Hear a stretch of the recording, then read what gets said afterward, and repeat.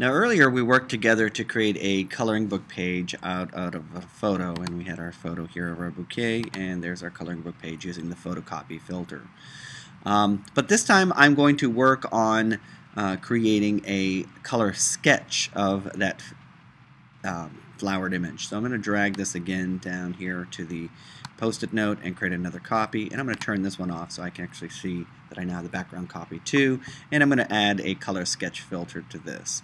So again I'm going to go up to my filter gallery. Now I could go up here and I could start applying these settings and see which one I think works best.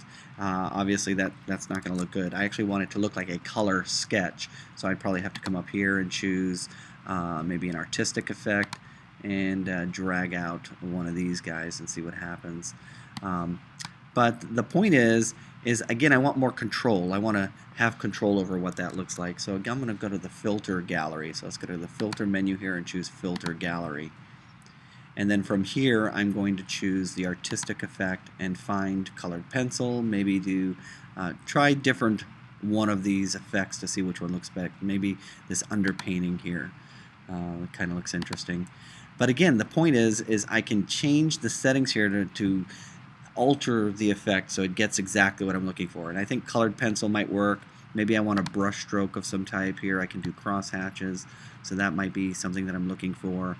Uh, I can do sprayed strokes, so that it looks more like it's uh, somebody's kind of uh, using a sprayer.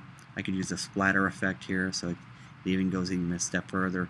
Again, the spray radius, I can increase or decrease the value here, and it gives me a different effect. So if I decrease this, and then I can increase the smoothness for example I'm getting more to the original again. So you got to be careful of that. I'm going to decrease the smoothness increase the radius on that. But uh, colored pencil here is probably a good one. So it looks like I drew this with a colored pencil a little bit. Uh, not so much. I've got a lot of gray there but I can change the the pencil width. Okay so I can increase that I can do the stroke pressure go left or right move those around. And then I can do the paper brightness so I can darken that if I wanted to or lighten it up.